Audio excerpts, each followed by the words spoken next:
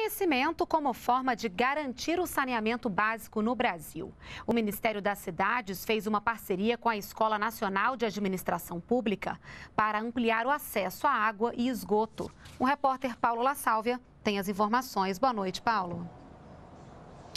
Boa noite, Renata. Em relação ao saneamento básico, são os gestores municipais, os prefeitos e prefeitas, os responsáveis pelo setor. São eles que têm que elaborar projetos executivos para acessar os recursos do governo federal para a área. Esses cursos de qualificação e capacitação ensinam o passo a passo para elaborar esses projetos e acessar esses recursos. Quem vai conversar um pouco com a gente sobre o assunto é Gustavo Fraira, do Ministério das Cidades.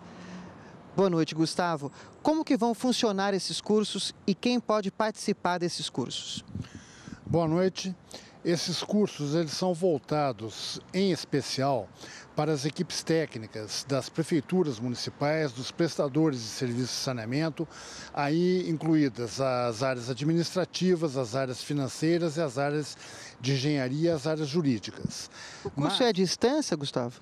O curso é à distância, ele é gratuito e é, embora este seja o público preferencial, qualquer pessoa que tenha interesse na área de saneamento, inclusive estudantes universitários e qualquer técnico que tenha afinidade com a área de saneamento, pode fazer o curso, porque o objetivo, justamente, como você disse, é disseminar as informações sobre como acessar os recursos do governo federal voltados para o Ministério das Cidades dentro dessa área. Agora, quem se interessar pelo curso, como que ele faz para se inscrever?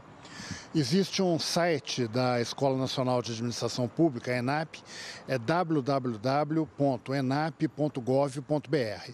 Ao abrir esse site, do lado esquerdo tem uma aba que marca lá cursos e ao acessar, ao linkar no cursos, aparece cursos à distância e ali a relação de todos os cursos, inclusive os quatro cursos que estão programados para a área de saneamento e os dois cursos que já estão com as inscrições abertas. Agora, os cursos são à distância, mas tem que ser cumprida uma carga horária mínima de 40 horas, não é isso?